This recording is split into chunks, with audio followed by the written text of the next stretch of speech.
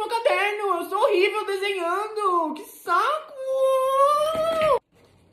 Para, Lucas. Não olha. Eu sou muito ruim.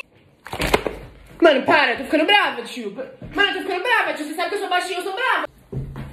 Tá olhando o que, parça? De saco, tio. Para. Eu nem sou tão boa. Eu não sou tão boa. Mano, para, velho, de olhar. Para de desenhar na careca do seu amigo. Presta atenção na aula. Mano, eu não posso desenhar no caderno. Não posso desenhar na mesa, na privada, na careca do meu amigo. Já não tenho mais onde desenhar.